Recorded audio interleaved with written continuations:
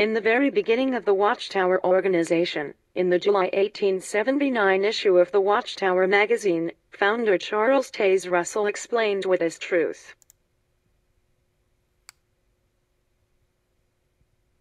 Here is what he believed we should learn to love and value truth for its own sake, to respect and honor it by owning and acknowledging it wherever we find it and by whomsoever presented.